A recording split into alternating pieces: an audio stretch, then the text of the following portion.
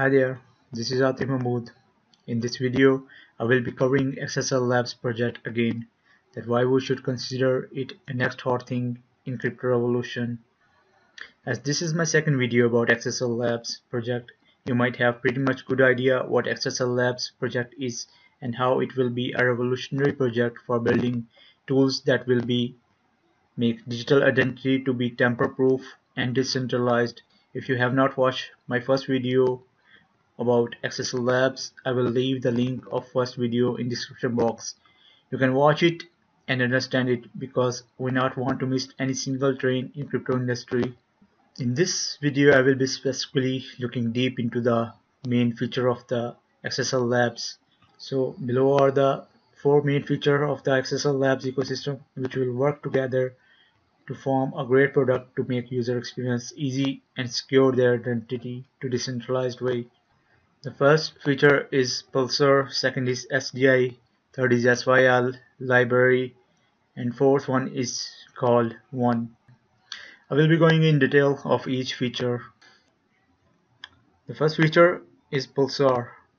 Pulsar is the distributed ledger that serves as the bedrock for the decentralized identifier and the entire ecosystem of dApps and dApp ex extensions.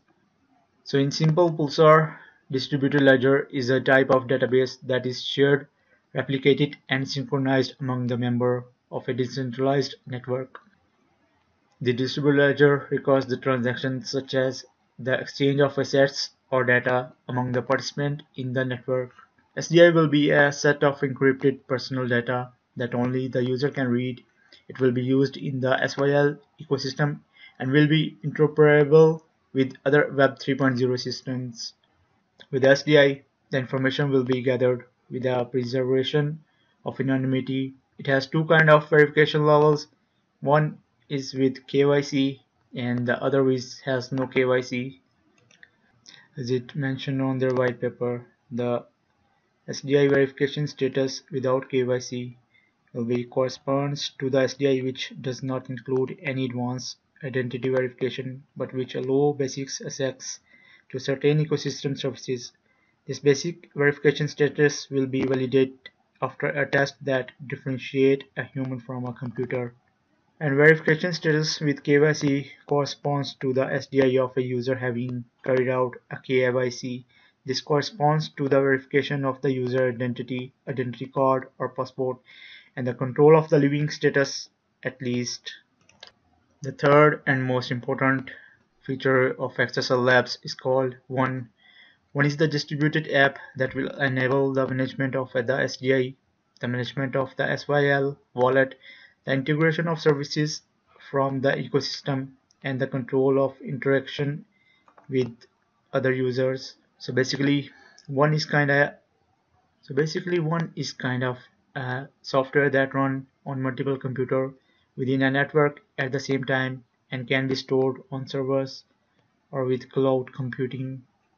The fourth feature of the XSL Labs is called SYL Library. SYL Library will be a dApps and dApp extension store. It will ensure the quality of the service and that they comply with the GDPR. All of the services offered on SYL Library will use the SDI as a guarantee of trust.